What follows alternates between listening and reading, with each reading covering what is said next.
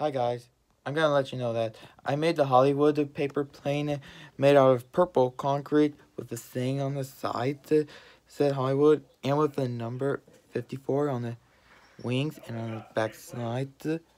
And this is also the same thing as the other side.